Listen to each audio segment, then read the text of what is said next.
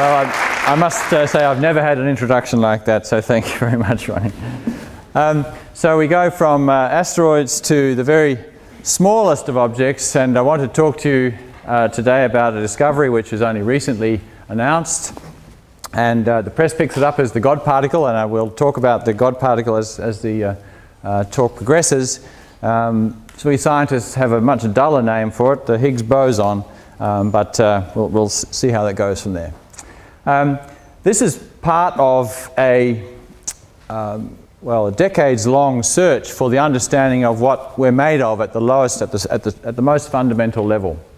We know we're made of molecules, the molecules are made of atoms, the atoms have a nucleus with an electron cloud, and the nucleus is made of nucleons, and now we know that the nucleons are made of quarks. That's the field that we're talking about here, trying to understand what we're made of at the, at the smallest, smallest scale.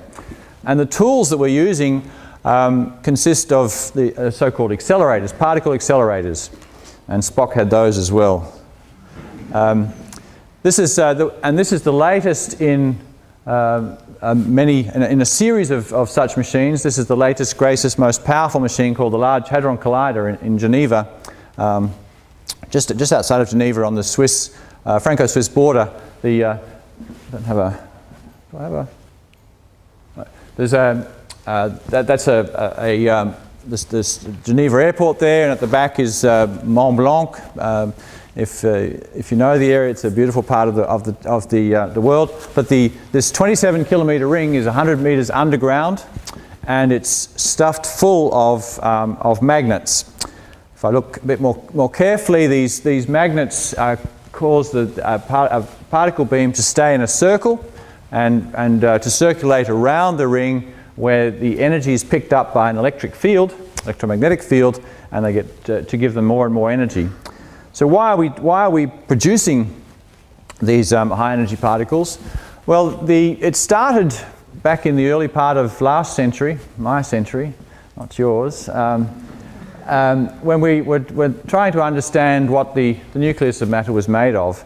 And um, we need to go to high energies because high energies correspond to very, very small wavelengths. Of, and and we, when, when, the, when we're trying to look at something which is less than the wavelength of the light we're looking at it with, it becomes fuzzy. And to get to a very smaller scale, we go to higher energies so that the wavelength gets shorter. So we go to X-rays instead of visible light. We go to electron uh, microscopes to get to very small, um, small scale so we can understand um, stuff, matter at the, at the smallest scale. And this is just an evolution of that in a pretty big evolution, 27 kilometers around. Um, uh, but that's, that's where we're at today in understanding, the, the in, in, in, probing the smallest particles of matter. And, uh, but there's a very famous uh, uh equation in physics which you've all heard of, which is E equals mc squared. Energy and mass have a relationship, which is this Einstein relation. So as we got to very high energy, the, some of that energy now can be uh, converted into mass. So we, in trying to look at the smallest particle, the structure of matter at the smallest scale, we actually started to generate particles. And after the war, the Second World War, not my war, my father's war, uh, the accelerators, accelerators took off because of various technologies um, that were used for radar and so forth. And in the, in the early 60s and um, late 50s, early 60s, this E equals mc squared ending, ending up, ended up generating lots and lots of particles. So from going from a this simplistic idea of, of uh, uh, look, getting to finer and finer scales, we started creating stuff. And where, where was all that coming from? And uh, the old cartoon with the cyclotron, particles, particles will sweep them away. There were hundreds of particles being created. We were trying to find a, uh, my field was trying to find a simple understanding of the nature of matter and what we were, we were, we were ending up creating particles and making things look more and more complex. Well, physics um, is, um, uh, makes very strong use of symmetries and mathematical symmetries help, have helped physicists understand the nature of matter for, for many, many decades. And with all of these particles, in fact, we found patterns. And the patterns then uh, could be used to come down to a very simple model, which again is a dull name with some interesting names in here. We call it the up and the down quark or quark. the strange quark and the charm quark, the top, top and bottom quark. Good names, but this is called the standard model. so that's a bit dull. We probably should have allowed some of the uh, arts majors to, to give us a better name. Um, all of the stuff of matter up until July was described with this block of, of, of particles. So what we have is um, along, there are three replications, replicas of these quarks, quarks, which make up the nucleus, and another couple of things was that one's called a neutrino, and since I've been talking, hundreds and hundreds of millions of neutrinos have been passing through you, unnoticed, coming from the sun. They pass through because they don't interact, excuse me, they don't interact very much. And then the good old electron, for all the chemists in the room, uh, that's all you need to know about. This, uh, with, with accelerators, we've, we in fact found three generations of these things. They look very similar, but uh, experimentally, the only difference is each one of those generations is heavier than the previous one. And when we create these particles made of these heavier quarks, they very quickly decay back into the stuff that we're made of. So this nice, gentle universe that we live in now, uh, 13 billion years from, from the beginning, is made up of just a very small number of, of, particles. In quantum mechanics, we describe, in quantum field theory, we describe the interactions between particles by fields. And those fields can be described uh, in, in, in terms of the exchange of particles. And so the electric field, which holds, holds atoms together, is described by the interaction between the electrons and the protons by the exchange of these photons, these particles of light. And these other ones, the gluon holds is, is the particle responsible for holding the quarks together inside the nucleus. And the Z and the W boson, they were dis they discovered in, um, in the 80s at CERN. These are responsible for, for um, radioactive decay and other things. So it was all a very nice picture, and it was based purely on a mathematical symmetry. Um, how they interact is, is, um, is uh, beautifully described. But there's one thing that the, the standard model had nothing to say about, and that was these things ha all have different masses. They're all different from zero, and, and they vary a lot across, the, across this table. The standard model was happy with zero mass particles. And in fact, if there was anything in our, in our nice model which, which uh, gives, gave these objects a mass to start with, it would break the symmetry and things would fall, fall apart. The standard model has been looked at in, in hundreds of different experiments since the late 60s. And every time, every experiment showed that it, it, to be consistent with this, this simple picture. But it did not explain where the mass came from. And back in the early 60s, Higgs and a few other people said that let's, let's have a look at this from a mathematical perspective. And let's, well, we've got lots of fields here. Let's introduce another field. It's a very special field. It's not a force carrier. It's a field which permeates the universe and it has certain special properties. With that field, we can keep symmetry, but give all these particles their mass. So, uh, many moons later, and after uh, a lot of effort expended by thousands of people around the world, the Large Hadron Collider came into operation in 2008 to large fanfare. And in fact, um, there was all sorts of discussions about it being the end of the world, not through asteroids, but through uh, creating mini black holes, which are somehow going to suck the Earth into uh, into itself and, uh, and puff, will, will disappear. Um, didn't happen. In fact, a week and a half later, there was a massive uh, uh, accident, and um, the machine was shut down for over a year. So one week later, one week, and then another year to, to go. But back in um, uh, in 2009, it was operational from the, from the end of 2009, and now it's been operating beautifully.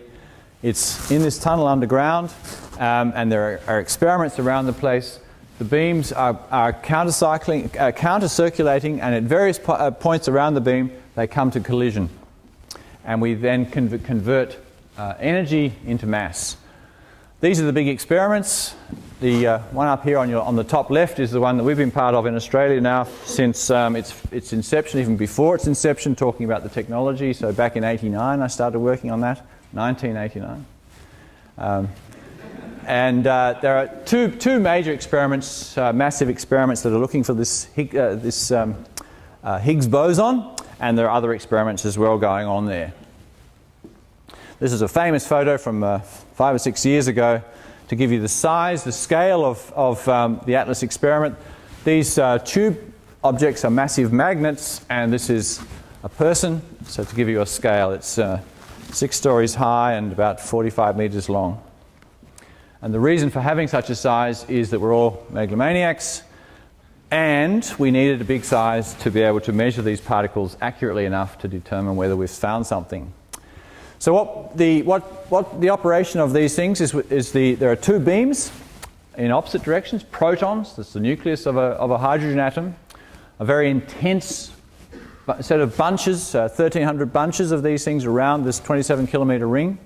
They're at, at the highest energy that we can possibly get them with the technology available to us, and every 25 nanoseconds, 40, 40 million times a second, they cross inside these experiments. And every now and again, some of those protons bang into each other.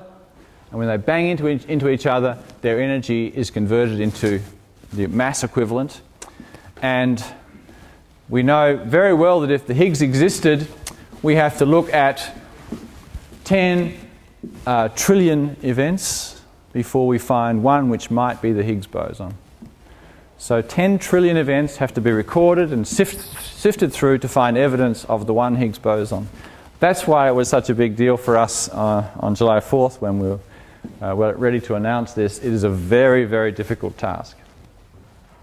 The other thing about the energy available is that we know that the universe is uh, originated from a hot Big Bang 14 million, 13 billion years ago. And it was very hot, it expanded, and as it expanded, it's cooled down.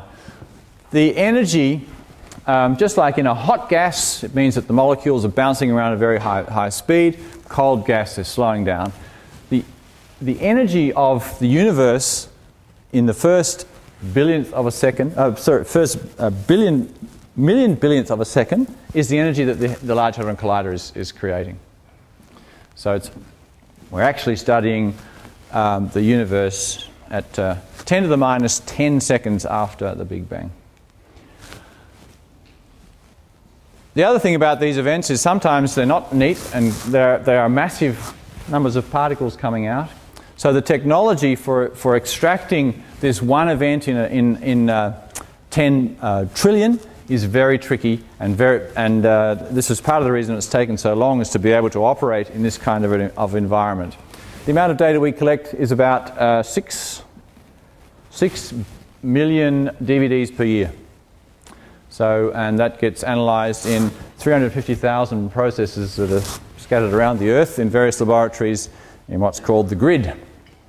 So it's a massive operation. Much simpler, and in fact, this is an example of one of these interactions which we extracted from the millions and millions and millions. And this is, this is one of the events which uh, is characteristic of what we expect from the Higgs boson. It looks quite simple. Um, this is where massive particles are being created and two photons, particles of light, very high energy particles of light have come out and um, they've been shown to originate from a, a massive particle, which we, um, and we, when we find enough of these events um, that they are, they are beyond what, it, what is expected, then, then we, we, we know that we've found something new. And that was, was what happened in the, in the discovery of the Higgs boson. So we had to extract it from lots of um, hits and, and uh, detected, detected hits right across the, uh, the experiment. It's not an easy task, and we have to do this 100 uh, trillion times to extract from the background what we're looking for. And so um, determining the energy of these particles is essential, and uh, then we can come down, and we, we did find a significant excess and uh, it's not often that the, that, the, that physics gets on the front page of the Age.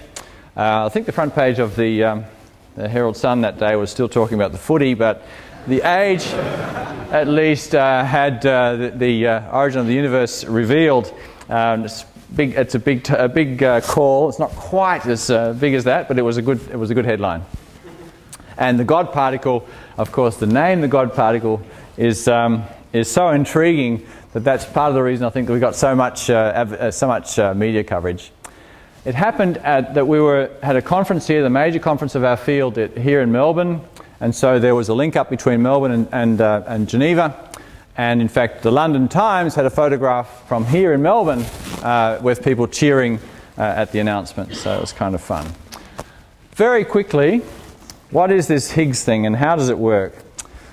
This, about 10 years ago, the, Times in, in, London put out a competition and offered a bottle of champagne. We're, we're, we're pretty cheap, uh, cheap uh, performers, so we, a, a bottle of champagne for anybody who can explain the Higgs mechanism to a lay audience. And my friend uh, David Miller said, well, let's consider it like this. There's a party going on. People are milling around in the party, talking, drinking, uh, chewing the fat.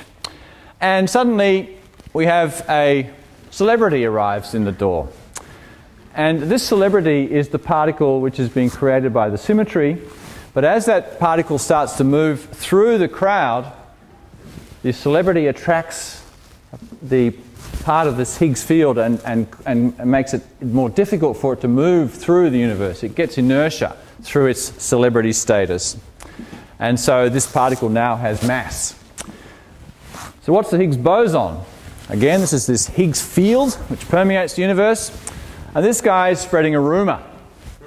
And he's giving a rumour to the first person in the room. And of course, rumours spread. And so this rumour, people are talking in the room, and the rumour passes through the room.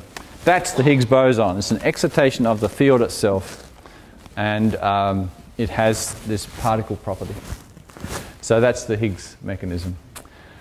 And the old picture of the standard model with all the different masses, also those numbers correspond to, uh, now has been updated to uh, stuff of matter, the forces, and this guy here, the Higgs particle, which is a new part, which is new and, and indicates that there is such a thing as a Higgs field that, that permeates our universe and that just after the Big Bang gave mass to our particles.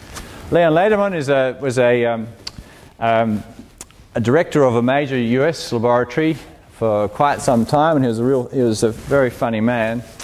He was writing a book about how difficult it was to find the Higgs boson and uh, the working title was That Goddamn Particle. but his publisher said this will never fly in, in, um, uh, in the Midwest, Bible Belt in particular, of the US.